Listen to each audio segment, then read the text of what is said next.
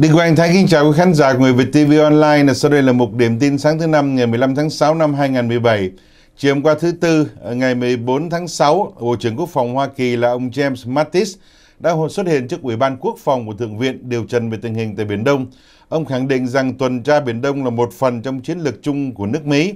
Ờ, theo như tờ báo The News Indian Express, thì đó là lý do tại sao một Bộ trưởng Quốc phòng Hoa Kỳ Mattis nhấn mạnh rằng các cuộc uh, tuần tra nhằm minh định nỗ lực bảo vệ quyền tự do lưu thông tại khu vực Biển Đông và sẽ không bị tạm ngưng chỉ vì những thái độ uh, hung hăng cũng như là cái mức độ phản đối của nhà cầm quyền Cộng sản Bắc Kinh. Bộ trưởng Quốc phòng Hoa Kỳ cũng nói rằng ông đã tham khảo với Bộ, Bộ trưởng Ngoại giao Mỹ về hoạt động tuần tra tại Biển Đông cả và cả hai cùng đồng ý rằng tiếp tục tuần tra Biển Đông à, đây sẽ là một hành động để cho thấy rằng chính sách đối ngoại của Hoa Kỳ được hiện rõ à, trong cái nhìn của giới lãnh đạo tại khu vực Á Châu Thái Bình Dương. Nghị sĩ à, Brian Scott là một trong những nghị sĩ có tham dự buổi đầu trần ngày hôm qua, nói với báo chí rằng ông cảm thấy hài lòng là Hải quân của Hoa Kỳ đã tái tục trở lại những hoạt động tuần tra Biển Đông sau một thời gian tạm ngưng tới 8 tháng, tính từ tháng 10 năm 2016 cho đến tháng 5 năm 2017. Liên quan đến cuộc điều tra là liệu uh, ban tham mưu của Tổng thống Donald Trump lúc tranh cử năm 2016 có thông đồng hoặc là có liên lạc một cách nào đó với nước Nga để ảnh hưởng cuộc bầu cử của Tổng thống tại Hoa Kỳ hay không? Thì thưa quý vị, sáng ngày hôm nay, đài truyền hình CNN chạy một cái hàng tựa lớn là điều tra viên đặc biệt Robert Mueller đã đưa cuộc điều tra này vào tới phòng bầu dục của Tòa Bạch Ốc. Hà Mỹ nói rằng ông à, Robert Mueller và nhân viên của ông bây giờ đang à, tìm cách điều tra thử xem Tổng thống Donald Trump có phạm vào một cái um, uh, quy định của luật pháp, đó là Tổng thống Trump dùng quyền của mình để cản trở công lý trong vấn đề cuộc điều tra hay không. Bởi vì uh, cựu giám đốc uh, FBI của nước Mỹ là ông James uh, Comey trong cuộc điều trần uh, thứ năm hôm thứ năm uh, tuần qua, ông nói rằng uh, trong cuộc gặp gỡ riêng với Tổng thống ờ, Donald Trump thì ông Trump đề nghị là ông ờ, James Comey nên bỏ qua cái cuộc điều tra ông cựu ờ, cố vấn an ninh quốc gia là ông Flynn là có lính dính líu tích với nước Nga trong cuộc bầu cử.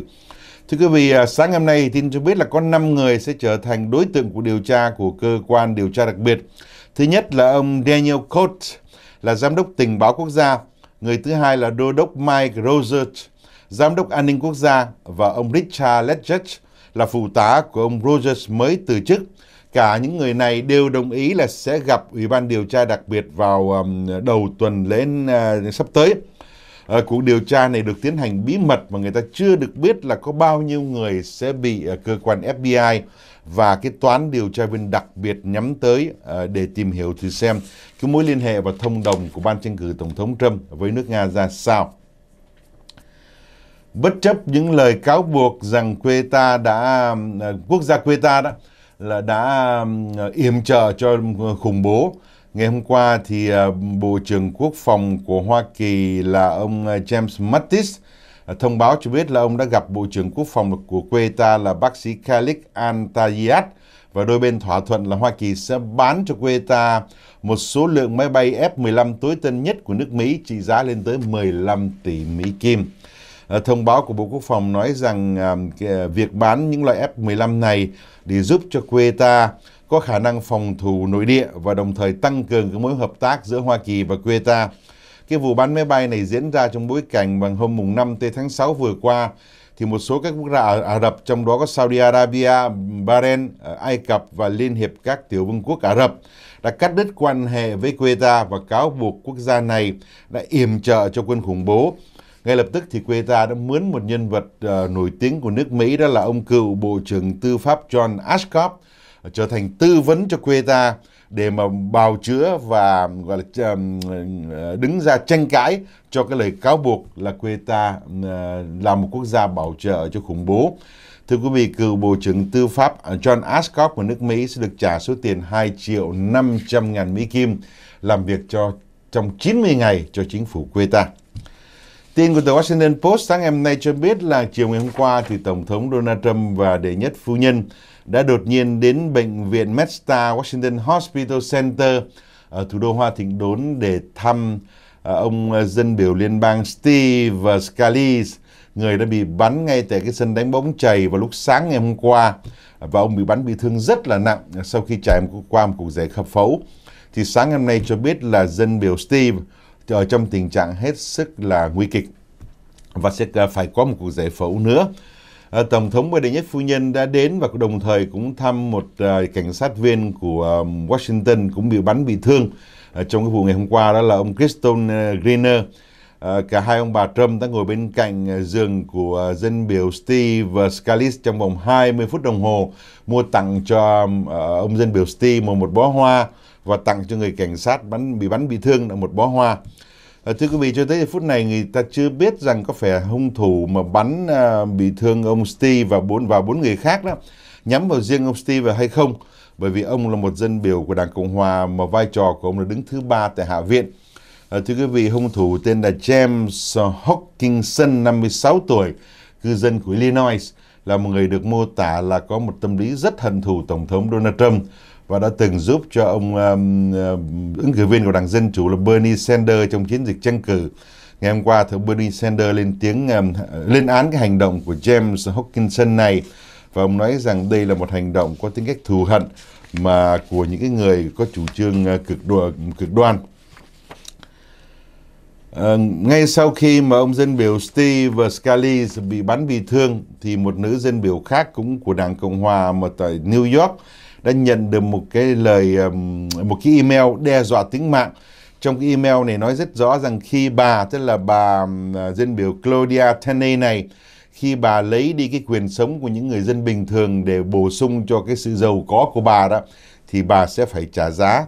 Thưa quý vị, an ninh tại um, Quốc hội đã được thông báo về cái lời đe dọa này. Thưa bị uh, bà uh, bà Tenney năm nay 56 tuổi là dân biểu của tiểu bang um, New York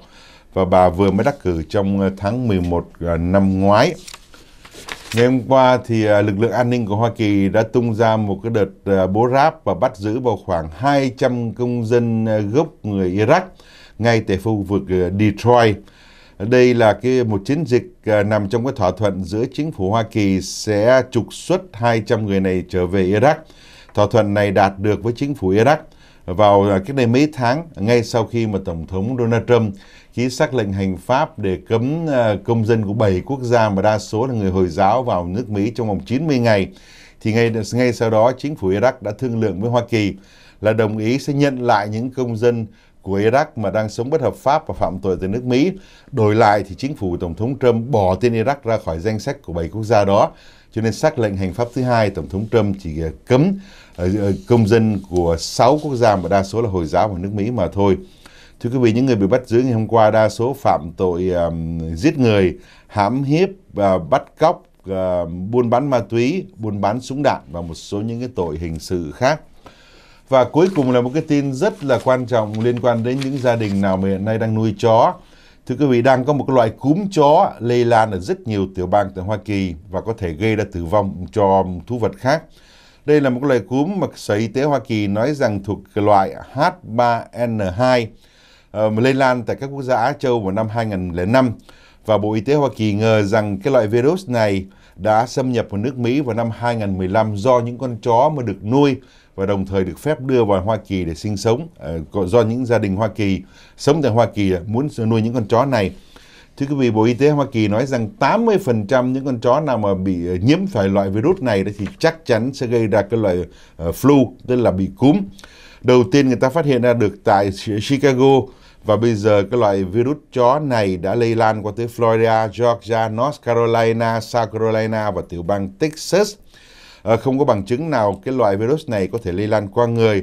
Nhưng mà tất cả những địa điểm sau đây mà chó thường tập trung là cái chỗ mà cúi nuôi chó là một này. Những cái chỗ bán chó, à, những cái chỗ mà biểu diễn chó, tức là những cái show mà cho người ta xem uh, cho, chó đó. Và những cái công viên mà chó được được thả ra để đi vệ sinh thì có thể lây lan cái loại virus này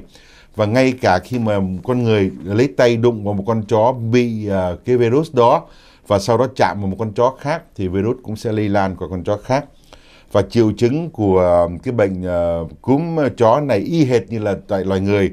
tức là cũng bị uh, chảy mũi nè. Con chó cũng ho và đồng thời lên cân sốt có dáng bị rất là bị bệnh. Lời khuyên của sở y tế là nếu gia đình nào nuôi chó mà có thấy chó có bị uh, triệu chứng bị cúm đó thì lập tức đưa đến ngay bác sĩ thú y để bác sĩ thú y chẩn bệnh và chữa bệnh cho chó. Chào tạm biệt quý khán giả và hẹn gặp lại trong mục điểm tin sáng ngày mai.